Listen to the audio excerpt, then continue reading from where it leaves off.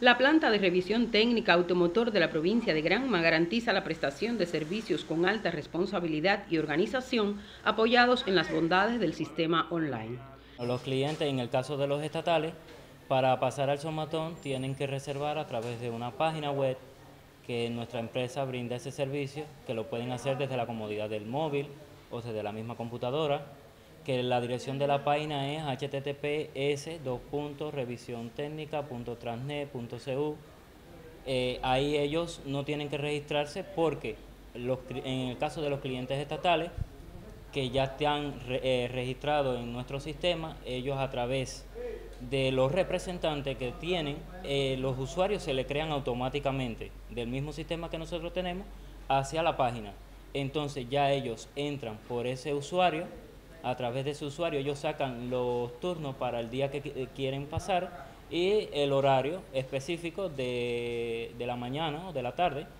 Las actuales circunstancias marcadas por la acentuación de la crisis económica mundial requieren del empeño de los colectivos laborales para enfrentar los grandes desafíos y garantizar la mejor prestación de los servicios.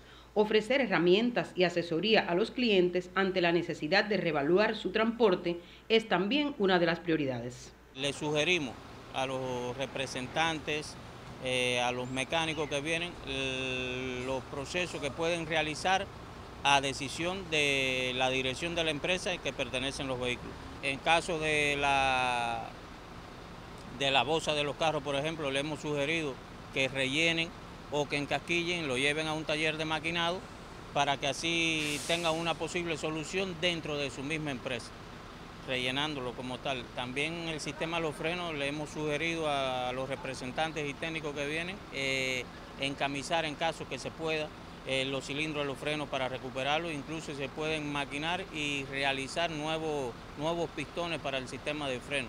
Es una solución que se puede tomar aquí en la provincia teniendo los recursos en la empresa. Mantener una actitud abierta de información al público y alcanzar la comprensión de que en esta planta se garantiza la seguridad en la vía es imperativo del colectivo laboral. Elena Lienz, Sistema Informativo de la Televisión Cubana.